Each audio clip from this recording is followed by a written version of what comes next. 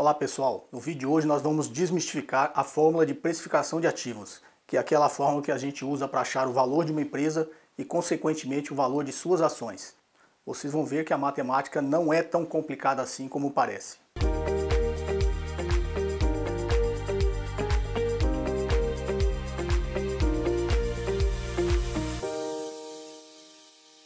Bem, muitos de vocês têm pedido nos comentários para falar sobre valuation, sobre a matemática por trás disso e principalmente sobre as fórmulas que se utiliza para achar o valor de uma empresa. Então eu vou mostrar aqui para vocês como que é essa formulação matemática e ela não é tão complicada assim como parece. O preço de um ativo é igual ao somatório do fluxo de caixa de T igual a 1 a N dos fluxos de caixa no tempo dividido por 1 mais a taxa elevada ao tempo. Então, a princípio parece ser uma fórmula muito complicada, né? Principalmente por essa letra grega aqui do somatório. Para aqueles que já estão acostumados com a matemática, não é tão complicado assim, mas para a grande maioria parece complicado. Vamos voltar aqui, nós vamos chegar nessa fórmula, mas nós vamos voltar aqui nela no final. Então vamos lá, um exemplo simples. Você tem 100 reais hoje e você quer investir esses 100 reais e o banco te oferece lá uma taxa de 10% ao ano. Então você põe 100 reais hoje, quanto você vai ter daqui a um ano se você for remunerado por uma taxa de 10% ao ano?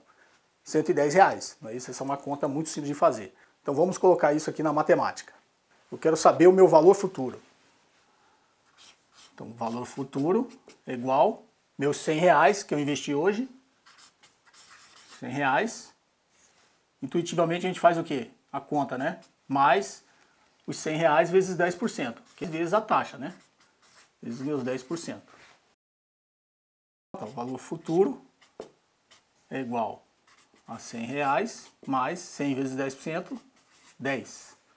Meu valor futuro é igual a 110. É a mesma conta que a gente chegou. Então vamos colocar isso aqui de forma matemática.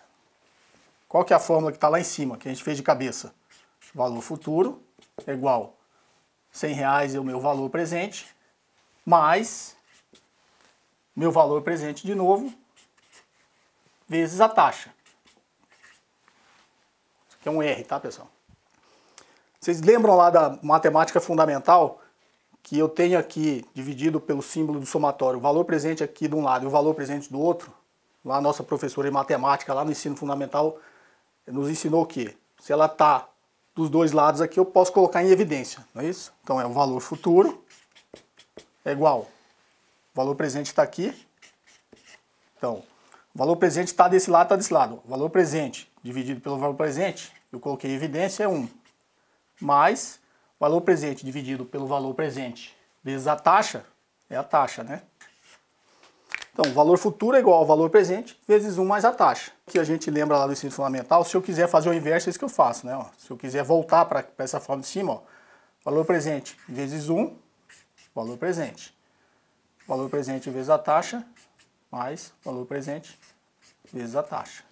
Eu volto exatamente para o jeito que eu estava aqui. Então, a fórmula do valor futuro simplesmente virou isso aqui, né? Ó. O valor futuro é igual ao valor presente vezes 1 mais a taxa. Se eu quiser achar o valor presente, lembra lá da matemática? Está multiplicando, passa para cá dividindo. Então, se eu quiser a fórmula agora do valor presente, ó, valor presente é igual valor futuro dividido por 1 mais a taxa. Então, o valor presente hoje, ó, o valor futuro dos seus 100 reais é o 100 reais vezes 1 mais a taxa. A taxa ali está em percentual, eu transformo em fator. Então, se eu transformo em fator, é só dividir por 100. Dividir por 100, matemática básica, né, pessoal? A vírgula não está aqui? Se eu dividir por 100, 100 tem dois zeros, vírgula aqui, vírgula aqui. Então, se eu transformar em fator, é 0,1. Então, 1 mais a taxa aqui, ó, seria 1 mais a taxa, 1,1. 100 vezes 1,1, 110. Se eu passei dividindo aqui, agora eu quero achar o valor presente de um valor futuro. Né? Se eu fizesse o inverso aqui, se eu tivesse direito a 100 reais daqui a um ano a uma taxa de 10% e eu quisesse trazer isso a valor presente, então seria o valor presente é igual a 100 dividido por 1,1, que ia dar 90,9, não é isso? Então 100 reais daqui a um ano a uma taxa de 10% é a mesma coisa que R$ 90,90 hoje. Né? Então só inverti aqui a fórmula. Como eu estou achando o valor de uma empresa, uma empresa não tem só o caixa daqui a um ano. A empresa, teoricamente, a gente considera como se ela fosse perpétua.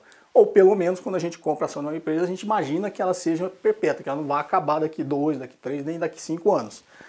Isso é um conceito um pouco mais que, de repente, no outro vídeo a gente aborda o valor da perpetuidade. Mas vamos imaginar que eu quero achar o valor de uma ação. Quando eu compro uma ação, eu tenho direito ao fluxo de caixa dessa empresa, não é isso? Virei sócio dela, tenho direito aos lucros que ela vai gerar a partir do momento que eu virei sócio dela. Para mim, o passado não interessa, interessa de hoje em diante. Então, qual que é o cálculo que eu tenho que fazer? A posse dessa ação me dá direito a esse fluxo de caixa da empresa, porque agora eu sou sócio dela. Se ela dá um milhão de reais de lucro daqui a um ano, eu vou ter direito nessa minha parcela a esse um milhão de reais de lucro daqui a um ano. Só que ela não dá só um milhão daqui a um ano. Daqui dois anos ela vai dar o outro lucro, daqui dois anos, daqui três anos. Então quando eu quiser calcular esse valor futuro, eu simplesmente agora vou elevar isso aqui ao tempo.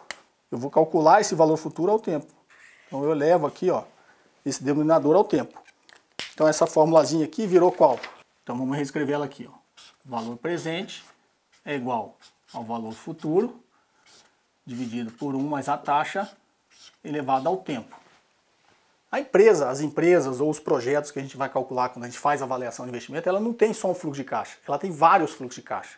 Então essa fórmula aqui vai virar aquela fórmula que aparentemente é complexa, que é a mesma, né? Ó.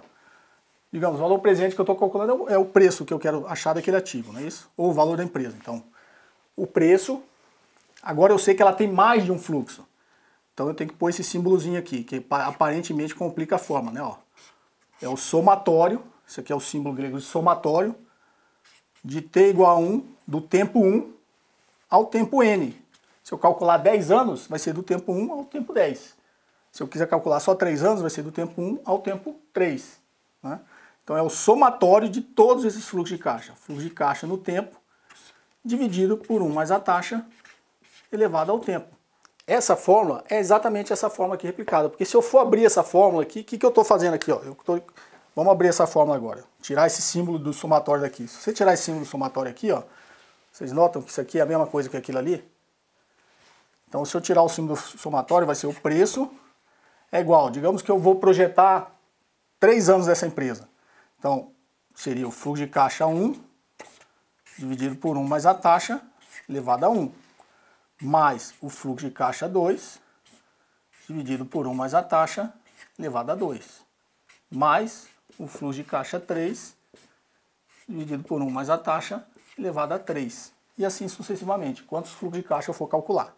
Se eu fosse calcular aqui, era só eu achar, projetar qual seria o lucro da empresa no ano 1, qual seria o lucro da empresa lá no ano 2. Tem um conceito que a gente chama de fluxo de caixa, tá gente? Lucro líquido é competência, a gente só tem que transformar em caixa. Só para entender a matemática, eu pego o fluxo de caixa livre da empresa, que ela vai ter no ano 1, fluxo de caixa livre no ano 2, fluxo de caixa livre no ano 3, divido por 1 mais a taxa. O que, que é essa taxa aqui em matemática, em valuation? Essa taxa em valuation é o risco desse fluxo aqui. Ou, em finanças, é o custo de capital da empresa, o custo de oportunidade. Né? Porque se ela não oferecer essa taxa aqui para o seu acionista de retorno por todos os seus sócios, existe um custo de oportunidade dele querer ser sócio de outra empresa. Então ele necessariamente tem que oferecer uma taxa de retorno aqui, um custo de capital compatível ao risco da empresa. Então essa fórmula aqui é a mesma dessa aqui. Só está mais, como eu brinco com meus alunos, está mais uma forma mais metida besta, não é isso? Uma forma mais metida besta. É a mesma fórmula, tá, gente? Que a gente acabou de ver do valor presente. Então, quando você olha aqui quais as incógnitas né, que existem aqui nessa. para você achar esse preço aqui, ó, você achar esse cara aqui. Você tem uma incógnita aqui que é o, tempo, é o, o fluxo de caixa. Ela tem um risco da empresa gerar esse caixa ou não. É isso. Ela tem um custo de capital aqui, que é o risco dela gerar ou não esse caixa. A gente pode interpretar isso aqui como risco. É isso. E ela tem também o tempo faz diferença se ela gerar daqui um ano ou se ela gerar daqui dois anos. Então isso aqui ó, é quando ela vai gerar, né? o tempo. Então vamos reescrever essa fórmula aqui para a gente fazer um outro tipo de análise. Então, o valor presente é igual ao valor futuro, dividido por 1 mais a taxa, elevado ao tempo. Qual uma outra forma que a gente pode ver é, essa forma de precificação? Então, valor futuro, eu posso dizer que é o quê? Quanto, né? Isso aqui é quantificável. Quando é que eu vou gerar esse caixa? Em volume, né? Quanto de caixa eu vou gerar? O tempo. Quando eu vou gerar? Quanto eu vou gerar e quando eu vou gerar. E o R aqui, que é o custo, é o risco associado à efetivação deste caixa, né?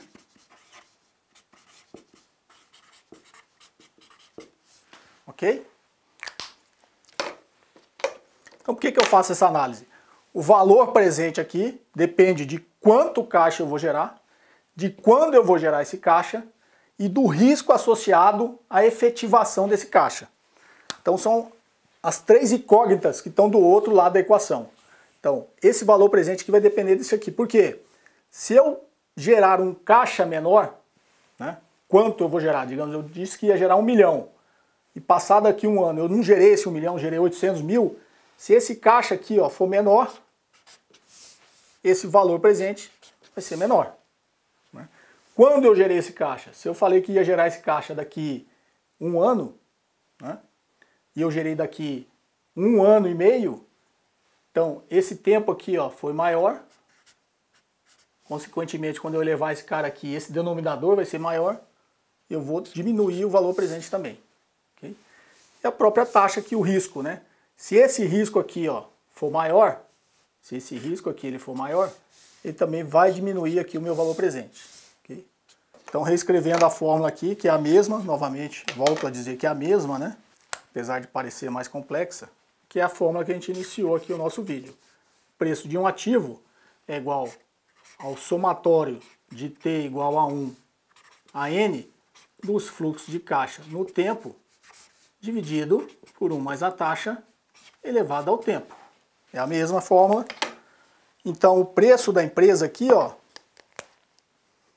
vai depender dessas variáveis. Qualquer uma dessas variáveis aqui que se alterar, vai alterar o preço da minha empresa.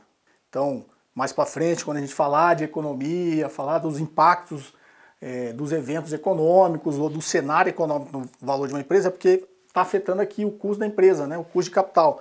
Esse custo de capital aqui em finanças, ó, a gente, geralmente empresa grande, a gente usa o que a gente chama de WACC, que é o Weighted Average Cost of Capital, que é o custo médio ponderado de capital. O que, que é isso? É porque aqui tem capital próprio e capital de terceiros. Na estrutura de capital da empresa ele tem capital de acionista e se a empresa tem dívida, tem empréstimo em banco, então ela tem um custo com capital de terceiros também, que é dívida, pagar juros da dívida. Então, é uma média ponderada, um custo médio ponderado de capitais aqui, capital próprio, capital terceiro. E o capital próprio, o capital próprio,